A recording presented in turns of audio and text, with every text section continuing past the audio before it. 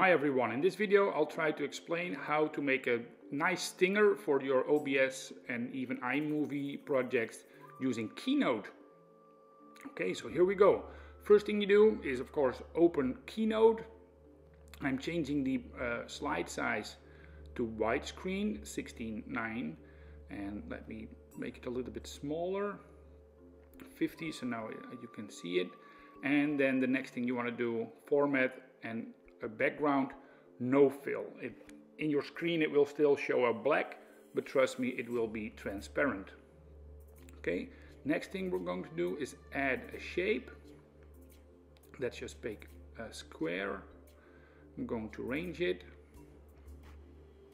Okay I'm going to pos position it at the 0 0 point so that's the left upper hand corner and then the size uh, 960 which is half of 1920 and the height 1080 change the color to white then copy this one.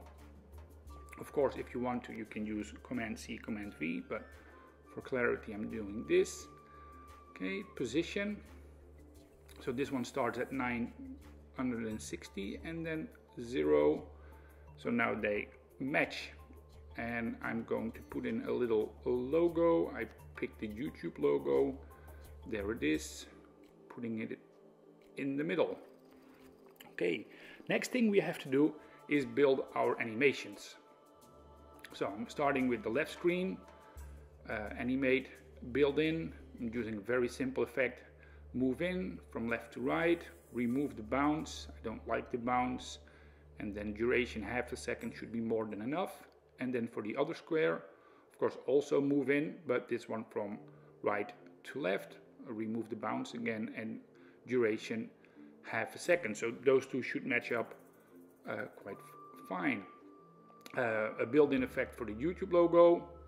Pop is okay. Well everything looks fine. And now the move out. So this one build out add an effect. So move out. What am I going to do? Let me pick uh, okay top to bottom is fine half a second and again remove the bounce and then the right screen okay build out move out so then this one will go from bottom to top half a second and remove the bounce now for some more action of the logo so I'm going to give it a, a little action. What will we do?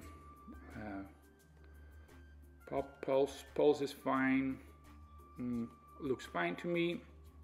Again, you can change it to your liking. Of course, you can make these animations as complicated as you want.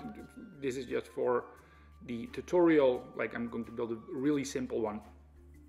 Uh, then to make it disappear, let's go for a special effect and um, sparkles sparkles are nice uh, two seconds is maybe a bit long so let me change that. Yeah. Well one and a half. Why not? Okay. And now we have to put all the uh, what is it? Animations in in order.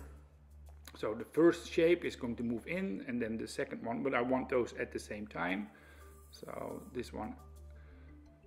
So the second one is with build one and no delay. I want them to move at the same time. And then the, the YouTube logo like uh, popping into the screen. So I'm going to do that after the slides have come together uh, with a little delay.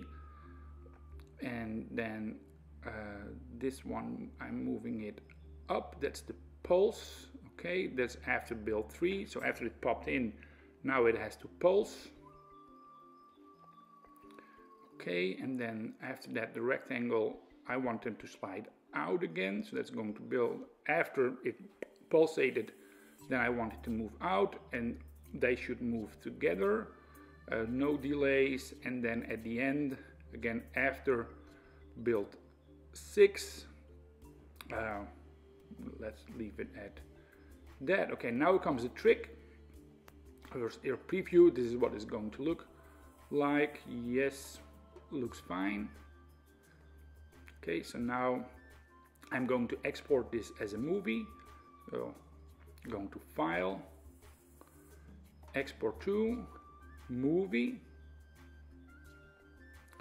and then that's all fine. And uh, these are for, uh, what is it, presentation, so custom. Adjust this one to 1920 and then you have to pick the lower one because I want the transparency so that one doesn't work but this one the 4444 export with transparent backgrounds. And next. Okay so this will give you a movie with a transparent background. Let's save this one. YouTube Stinger. And export. It's creating the movie. Takes a while. On my rusty MacBook Air. Okay, so now I'm going to OBS. Here's my OBS. I've got a, first let me pick a color source as a background. Okay, uh, let's give this one a nice color that everyone can see. Uh, this hefty yellow and then change the width and the height okay and in my second scene let's also add a color. Uh, what color are we going to pick here? Of course usually that would be like your camera or your desktop showing whatever but just for this tutorial to see what it's like. Oh, change the dimensions. Okay. So now I've got two scenes and then OBS should be able to switch between those with a nice transition. So I'm going to add a stinger. Give that one a name. Uh, tube with a capital T, YouTube stinger. Okay, I'm going to pick the file I just created with Keynote. Where is it? It's on my desktop, tutorial, and there is the YouTube stinger. Open. Okay and then I, now when you see it, oh, it changes directly to screen B, so you have to move the transition point where A changes to B a little bit.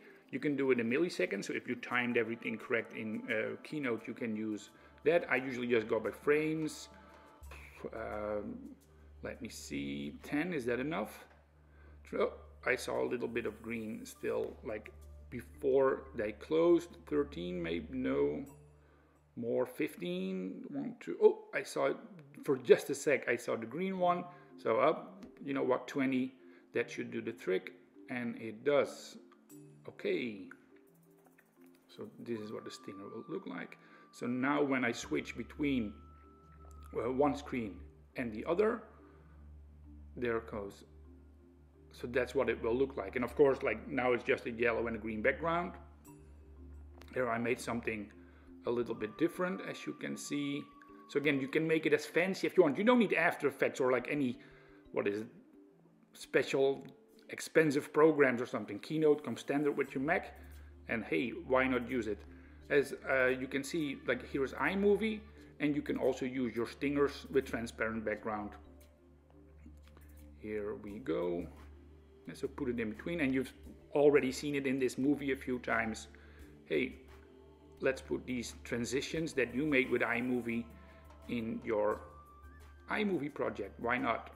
Okay, thank you so much for watching. Um, I hope you enjoyed it. Uh, good luck making your own OBS stingers.